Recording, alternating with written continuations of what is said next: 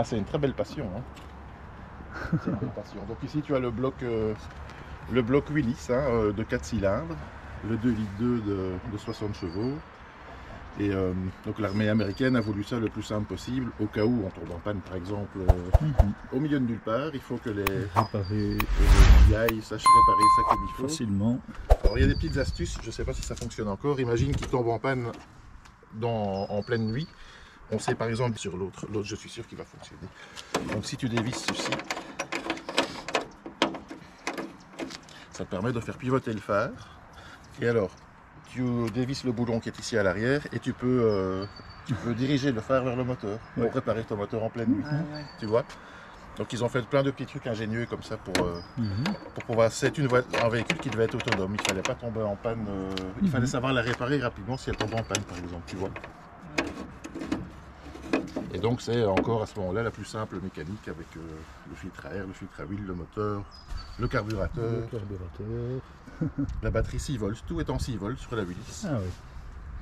Oui, à l'époque, c'était c'était le, le standard. hein. Oui, oui, c'est ça. Mhm. Maintenant, évidemment, ça a changé. C'est 12. Avec le gros radiateur euh, d'époque aussi. Donc tout est toujours bien fonctionnel euh, dessus. Mhm. Gros radiateur en, en cuivre, je suppose. Oui, oui, oui. Ouais. Effectivement, c'est pour ça Mhm. qu'il y a la grosse bouche d'aération aussi. Parce qu'elle est un peu capricieuse au niveau mécanique, donc elle chauffe, elle, elle chauffe assez vite, malheureusement. C'est pour ça que quand je roule avec, c'est déjà pas tous les week-ends et c'est euh, maximum euh, les 20-30 minutes pour éviter qu'elle surchauffe. Mhm. Parce qu'elle a 81 ans, comme je disais, hein. ça commence à faire. Oui, oui. Et alors une autre astuce, tu as par exemple ici, ce sont les, ce qu'on appelle des jantes de combat. C'est-à-dire que tu n'as pas besoin de démonte-pneu pour enlever le pneu. Si tu, si tu vois, il y a des, il y a des rivets, ça, des, des rivets qui sont boulonnés par l'arrière. Ah oui. Donc si jamais tu crèves un pneu, tu sais enlever la roue, tu démontes les boulons qui sont à l'arrière, la jante se sépare en deux. Oui. Tu mets le nouveau pneu, tu reclipses tout et c'est, euh, il fallait vraiment que ce soit un véhicule euh, tout à fait autonome, Oui. ne pas attendre une dépanneuse pendant, euh, tu vois, des heures et des Mhm. heures. Ouais. Donc c'est quand même un, un véhicule assez ingénieux, moi je trouve, euh, pour l'époque en tout cas. Pour l'époque, ah oui, oui, c'est sûr. Parce qu'ils ont construit ça, euh, l'armée américaine a demandé euh, en 1940 à divers euh, constructeurs automobiles de faire des projets de véhicules tout-terrain. Et donc c'est Willis qui a, qui a été choisi par l'américaine pour construire donc, le 4x4. Ils en ont construit plus de 300 000 pendant la guerre. Et ensuite, il a fallu faire appel à Ford aussi, parce que Willis n'avait plus la cadence nécessaire pour construire assez de, de Jeep. Et donc Ford en a construit aussi un peu plus de 200 000. Et après la guerre, les Français ont été séduits par l'engin et ont eux aussi continué à la construire. C'est la firme Hotchkiss qui a construit ça. Donc en fait, tu as trois, tu as Willis, tu as Ford et tu as Hotchkiss. Mhm. Et au fur et à mesure du temps, tu as beaucoup de, de Jeeps qui sont un peu hybrides. On met un moteur de Ford sur un châssis Willis Oui. avec une caisse Hotchkiss. Oui, oui, on essaye de faire euh, ce qui ressemble le plus à une Jeep. euh, voilà. Mhm. Mais celle-ci, je pense en tout cas, est vraiment euh, Willis Oui, 100%. oui. C'est le moteur Willis. Oui, c'est ça. Oui, c'est même marqué dessus, hein, euh, ici. Il est, c'est, euh, gravé Willis sur le, sur le bloc moteur. Oui. Oui, oui. Et l'intérieur, ben, euh, tout simple en fait. hein. Viens, Martin. Viens voir. Ah oui. hein. Mhm. Et il, il a déjà eu l'occasion d'essayer un, un tout vieux Defender, Ah oui. où c'était Un peu rustique aussi, quoi. hein, oui. fort rustique Ouais. aussi. Mais c'est vraiment Mais effectivement rustique parce que c'est pas du tout confortable. hein. Si on Ah prend non, une bosse non, avec non, ça, non, ben, il faut. euh, hein, de- dos, euh, I- Ici, Martin, tu as des ressorts à lame, à l'avant Oui, et à l'arrière. Tu vois Ce qu'on a à l'arrière sur l'Acadie, qui est à cul, hein ici c'est à l'avant et à l'arrière. Mais Ouais. c'est robuste. c'est très robuste, c'est- très costaud. Oui, hein, ça, ah oui, ça hein, passe oui, partout, oui, mais pour, voilà, euh, c'est pas fait pour être confortable. Pour des lourdes charges, c'est- l'idéal. hein. C'est vraiment ça. Et par exemple, pour faire le plein d'essence, ça se trouve en dessous du siège conducteur. Tu vois ici. Ça, c'est par ici que tu fais le plein d'essence. Tu vois vaut mieux pas fumer pendant qu'on roule euh, avec une Milix parce que Oui, on est assis sur le réservoir. on est assis sur le réservoir, effectivement. Donc cette, euh, tu as le levier de vitesse qui est ici. Et alors les petits leviers qui sont là, c'est pour euh, enclencher le 4x4 de la Jeep. C'est une boîte 3 vitesses. Donc encore une fois, c'est vraiment pas fait pour rouler vite. hein. Euh, Mhm. je pense que ça dépasse peut-être les 100 km/h sur du plat, mais c'est vraiment pas fait pour ça. Si je fais ça maintenant, je pense qu'elle surchauffe en 30 secondes. Oui, et que, oui, voilà, Oui.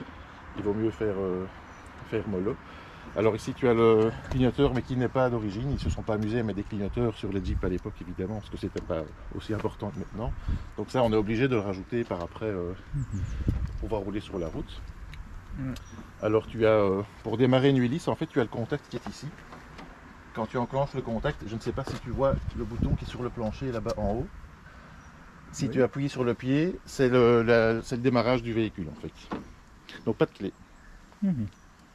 De nouveau, imagine que le soldat perd sa clé pendant la guerre, il ne sait plus rouler, ce serait un peu dommage. Donc ils ont fait un allumage au pied pour être sûr de ne pas, euh, pas avoir de mauvaises blagues. Quoi.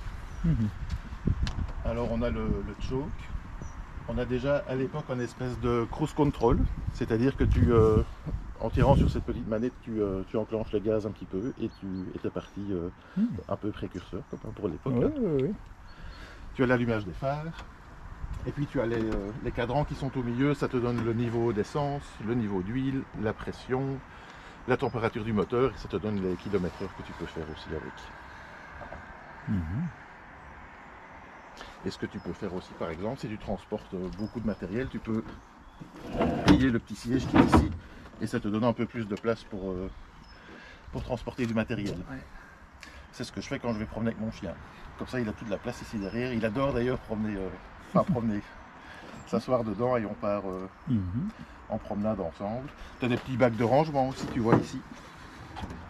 Pour ranger, euh, là, il y a- je mets toujours mon petit, euh, mon petit bidon d'antigel.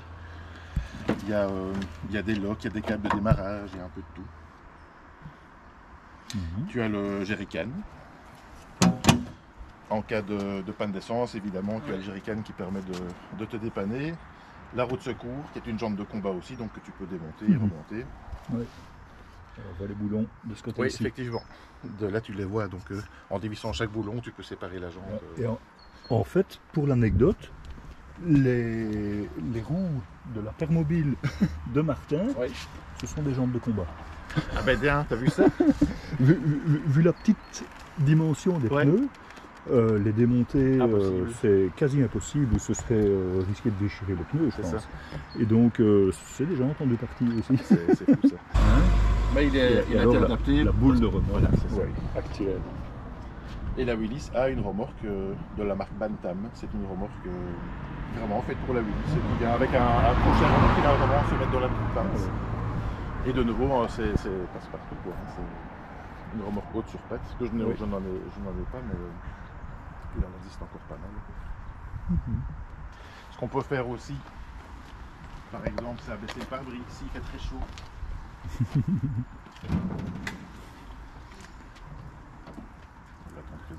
Et alors Et alors, il n'y a, pas de porte du tout, hein, Martin? Il n'y a pas de porte du tout. Par contre, ce que je n'ai pas mis parce que mon garage est trop bas et quand je mets la bâche, malheureusement, je ne sais plus Oui. la rentrer, Oui, mais oui, euh, oui. il y a une bâche prévue, euh, prévue dessus. Et ce que tu peux faire, par exemple, c'est quand on enlève les deux petits crochets qui sont ici.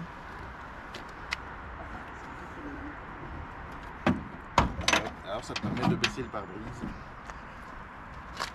Et là tu Mhm. prends le soleil euh, Comme en dans- pleine face et ça fait du bien. Comme dans le buggy de, de James, Martin. Oui, c'est bah, ça, oui, rouler un peu en décapotable. Ah oui, oui. Et alors, ils ont prévu vraiment- aussi, tu peux accrocher le, tu peux accrocher le pare-brise avec les petites attaches Ah oui, pour ne pas. euh, pas bouge. c'est- En même temps, c'est tellement lourd que je, je pense qu'il ne, ne pas. Mais... Oui, oui. Bah, en, tout terrain avec les bosses peut-être. Ouais, euh, oui, ça, oui. mhm. Et alors, tu as une espèce de carquois, je sais pas trop comment on appelle ça, pour accueillir le- la carabine M1 américaine, que je n'ai pas non plus. Mhm. Et la fameuse pelle et la hache, en cas de. Voilà, s'ils sont embourbés, ils peuvent toujours creuser pour, euh, pour se dépêtrer. Si jamais il y a des arbres en chemin, ils ont la hache pour, euh, pour tout dégager. Mhm. Donc voilà en gros le tour du propriétaire. On va remettre le pare-brise. Ouais, il a vu. Donc maintenant il faut que il faut qu'elle soit en route. mais- Ouais. Tac. Oui, il faut. euh, sinon, on va- Voilà. Donc tu vois, tu as les essuie- les essuie-glaces manuels, mais je suis pas sûr. Soit tu le fais manuellement, ou alors il y a un petit moteur que tu peux enclencher, mais il faut qu'elle démarre, qui permet d'avoir un essuie-glace qui fonctionne aussi. euh. Mhm. Alors il y a même moyen de lever ça, mais je suis pas certain que ah, ça fonctionne. Si tu veux pas Ah, oui. baisser le pare-brise, tu peux juste euh, bouger. Ah, il faut le faire des deux côtés en même temps, peut-être. Oup. Tu tiens la caméra?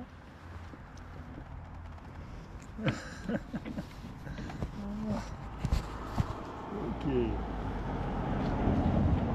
Donc ça, ça te permet euh, d'avoir un petit peu d'air aussi, si tu veux, euh, de ne pas baisser Ouais. le pare-brise, mais d'avoir un petit peu d'air aussi. Je trouve que cette, euh, cette Jeep a plein de petites astuces comme Oui, ça. oui, euh, ils ont vraiment pensé à plein plein de choses. Je trouve ça sympa. Ouais. Euh,